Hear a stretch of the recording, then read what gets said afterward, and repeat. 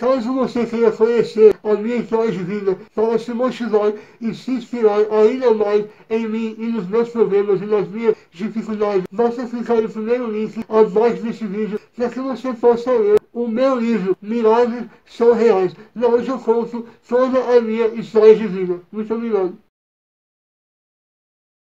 Porque vivemos pela fé e não pelo que vemos. Meus irmãos, neste versículo, Deus fala claramente que nós, seres humanos, devemos viver pela fé e não por aquilo que vemos.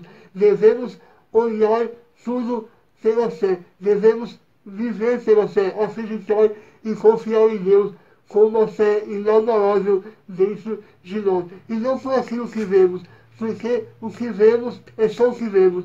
Mas quando se tem fé naquilo que você ainda não consegue ver, aí sim é que realmente você está demonstrando que confia de fato em Deus, que confia de verdade na palavra do Senhor. Então, temos que viver pela fé, temos que se manifestar pela fé, temos que caminhar por este mundo pela fé, através da fé. A fé é como se você estivesse andando de olhos fechados e confiando no seu guia, confiando para onde ele vai te levar, confiando para todos os caminhos que o seu guia foi te levar.